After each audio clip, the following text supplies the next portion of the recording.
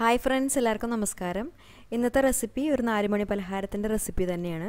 നമ്മുടെയൊക്കെ നാട്ടിൽ ചായക്കടയിൽ വാങ്ങിക്കാനായിട്ട് കിട്ടുന്ന ബോണ്ടയുടെ റെസിപ്പിയാണ്.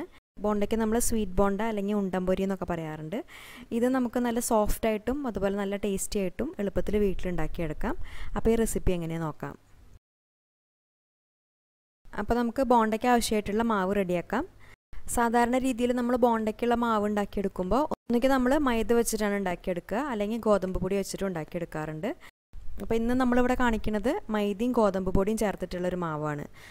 അപ്പോൾ അതിന് വേണ്ടിയിട്ട് നമ്മളിവിടെ എടുക്കുന്നത് ഈ ഒരു കപ്പിന് ഒരു കപ്പ് മൈദയാണ്. ഈ ഒരു കപ്പ് എന്ന് പറയുമ്പോൾ നൂറ്റി ഇരുപത്തഞ്ച് എം എൽ വരും. ഇനി നമുക്ക് ഈ സെയിം കപ്പ് തന്നെ ഒരു കപ്പ് ഗോതമ്പ് പൊടി എടുക്കാം. അപ്പോൾ ഈ രണ്ട് പൊടികളുടെയും മെഷർമെന്റ് എന്ന് പറയുമ്പോൾ ഇരുന്നൂറ്റമ്പത് എം എൽ ആണ്.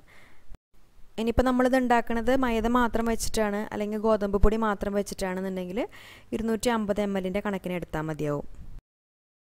ഇനി നമുക്ക് ബോണ്ടയ്ക്ക് നല്ലൊരു ക്രിസ്പിനെസ് കിട്ടാൻ വേണ്ടിയിട്ട് ഒരു ടേബിൾ സ്പൂണോളം അരിപ്പൊടി ചേർക്കാം. പിന്നെ ഇതിലേക്ക് ആവശ്യത്തിനുള്ള ഉപ്പ് ചേർത്ത് കൊടുക്കാം. പിന്നെ ഇതിന്റെ കൂട്ടത്തിൽ നമ്മൾ സാധാരണ നാളികേര കൊത്ത് അല്ലെങ്കിൽ നാളികേരം ചിരകിയതൊക്കെ ചേർത്ത് കൊടുക്കാറുണ്ട്. അപ്പോൾ അത് വേണമെന്നുണ്ടെങ്കിൽ നമുക്ക് ഈ സമയത്ത് ചേർക്കാം. പിന്നെ നമുക്ക് ബോണ്ടയ്ക്ക് നല്ലൊരു ടെക്സ്ചർ കിട്ടാനായിട്ട് അതായത് നമ്മൾ ബോണ്ട ഫ്രൈ ചെയ്തെടുക്കുന്ന സമയത്ത് നന്നായിട്ട് പൊങ്ങി വരാൻ വേണ്ടിയിട്ട് ഒരു കാൽ ടീസ്പൂണോളം ബേക്കിംഗ് സോഡ ചേർത്ത് കൊടുക്കാം. ബേക്കിംഗ് സോഡ അല്ലെങ്കിൽ അപ്പക്കാരെന്ന് പറയും അത് ചേർക്കാം. ഇനി നമുക്കതിലേക്ക് ഫ്ലേവറിനായിട്ട് ഒരു അര ടീസ്പൂൺ ഏലക്കപ്പൊടി ചേർത്ത് കൊടുക്കാം. അപ്പോൾ ഏലക്കയും പഞ്ചസാരയും കൂടിയിട്ട് പൊടിച്ചെടുത്തിട്ടുള്ളതാണ് ഞാനിപ്പോൾ ചേർത്ത് കൊടുത്തിട്ടുള്ളത്.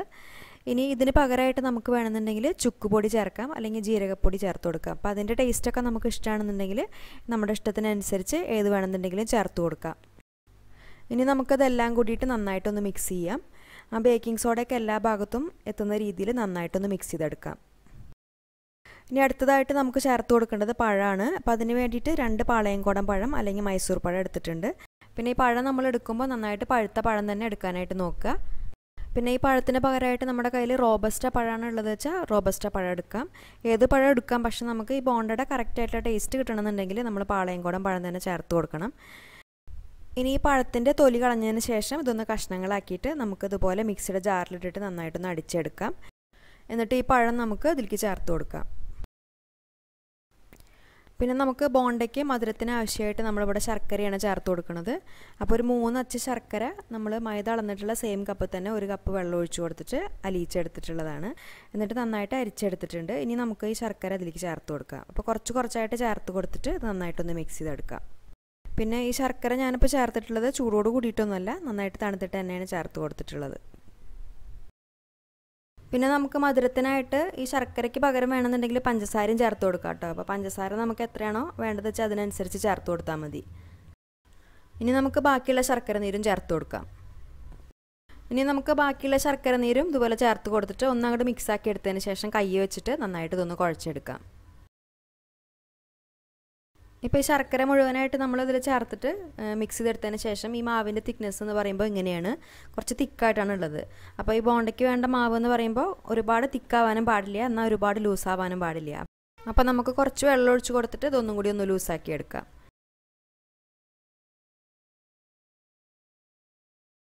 ഇപ്പം നമ്മൾ മാവ് റെഡിയാക്കി എടുത്തിട്ടുണ്ട്.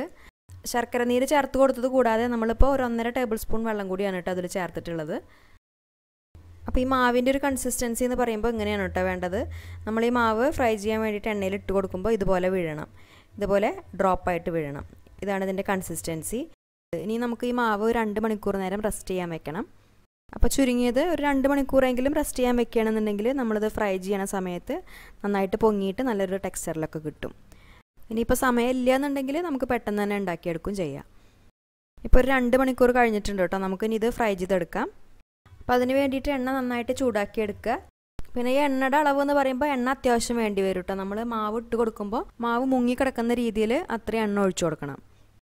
ഇനി ഈ എണ്ണ നന്നായിട്ട് ചൂടായി വന്നാൽ ഫ്ലെയിം നന്നായിട്ട് കുറച്ച് വെക്കണം. അതിനുശേഷം ഇതുപോലെ ഒരു പാത്രത്തിൽ കുറച്ച് വെള്ളം എടുത്തിട്ട് നമ്മുടെ കൈയൊന്ന് ഇതിൽ മുക്കിയെടുക്കണം.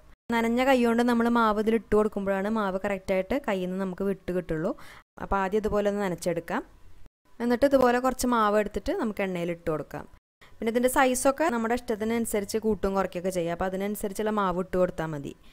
പിന്നെ ഇത് ഉണ്ടാക്കിയെടുക്കുന്ന സമയത്ത് നമ്മൾ മെയിനായിട്ട് ശ്രദ്ധിക്കേണ്ട കാര്യം ഫ്ലെയിമാണ് തീ നന്നായിട്ട് കുറച്ച് വെക്കണം. അപ്പോഴാണ് ഇതിന്റെ ഉൾഭാഗം നന്നായിട്ട് വെന്ത് കിട്ടുള്ളൂ. അല്ലെങ്കിൽ പെട്ടെന്ന് തന്നെ പുറംഭാഗമൊക്കെ കരിയും ചെയ്യും. ഉള്ളിൽ അങ്ങനെ വേവില്ല. അപ്പോൾ എത്രത്തോളം നമുക്ക് തീ കുറച്ച് വെക്കാൻ പറ്റും അത്രയും കുറച്ച് വെച്ചിട്ട് വേണം അത് ഫ്രൈ ചെയ്തെടുക്കാനായിട്ട്. പിന്നെ നമ്മളിത് എണ്ണയിൽ ഇട്ട വഴിക്ക് ഇത് ഇളക്കി കൊടുക്കണ്ട കേട്ടോ. അത് കുറച്ച് കഴിയുമ്പോൾ അടിയിൽ നിന്ന് മേലേക്ക് പൊങ്ങി വരും. അപ്പോൾ ആ സമയത്ത് നമുക്കിതുപോലെ തിരിച്ചിട്ട് കൊടുക്കാം. എന്നിട്ട് ഇതിന്റെ എല്ലാ ഭാഗവും നല്ലൊരു ഗോൾഡൻ ബ്രൗൺ കളർ ആവുന്നത് വരെ ചെറിയ ഫ്ലെയിമിലിട്ടിട്ട് തന്നെ നമുക്കിത് ഫ്രൈ ചെയ്തെടുക്കാം. പിന്നെ അത് ഫ്രൈ ആയി കിട്ടാൻ കുറച്ച് സമയം എടുക്കും കേട്ടോ അതിന്റെ ഉൾഭാഗമൊക്കെ നന്നായിട്ട് കുക്കായി കിട്ടണമെന്നുണ്ടെങ്കിൽ കുറച്ച് സമയം നമ്മൾ ചെറിയ തീയിലിട്ടിട്ട് ഇതുപോലെ ഫ്രൈ ചെയ്തെടുക്കണം. ഇപ്പോൾ ഇതായിട്ടുണ്ട് കേട്ടോ ഇനി നമുക്കിത് എണ്ണയിൽ നിന്ന് എടുക്കാം. ഇനി ഇതുപോലെ നമുക്ക് ബാക്കിയുള്ള മാവും റെഡിയാക്കി എടുക്കാം. ഇപ്പോൾ നമ്മുടെ ബോണ്ട മുഴുവനും ഇവിടെ റെഡി ആയിട്ടുണ്ട്. അപ്പോൾ ഇത്രയും മാവ് വെച്ചിട്ട് ഈ ഒരു സൈസിൽ നമുക്കൊരു എട്ടെണ്ണം വരെയൊക്കെ ഉണ്ടാക്കിയെടുക്കാം. ഇത് പുറംഭാഗം കുറച്ച് ക്രിസ്പി ആയിട്ടും ഉള്ളിൽ നല്ല സോഫ്റ്റ് ആയിട്ടുള്ള ടെക്സ്ചറാണ് അതുപോലെ തന്നെ കഴിക്കാനും നല്ല ടേസ്റ്റാണ് നമ്മൾ കടയിൽ നിന്നൊക്കെ വാങ്ങി കഴിക്കുന്ന ബോണ്ടയുടെ അതേ ടെക്സ്ചർ തന്നെയാണ് കിട്ടിയിട്ടുള്ളത്. അപ്പോൾ ഇതെന്തായാലും എല്ലാവരും ട്രൈ ചെയ്ത് നോക്കൂ. ട്രൈ ചെയ്യുന്ന സമയത്ത് ഫീഡ്ബാക്ക് അറിയിക്കൂ. പിന്നെ വീഡിയോ ഇഷ്ടപ്പെടുകയാണെങ്കിൽ ലൈക്ക് ചെയ്യാനും ഷെയർ ചെയ്യാനും മറക്കരുത്. അതുപോലെ ചാനൽ ഇതുവരെ സബ്സ്ക്രൈബ് ചെയ്യാത്തവർ ഒന്ന് സബ്സ്ക്രൈബ് ചെയ്ത് സപ്പോർട്ട് ചെയ്യുക. അപ്പോൾ ഇനി നല്ല നല്ല റെസിപ്പീസായിട്ട് വീണ്ടും കാണാം. താങ്ക്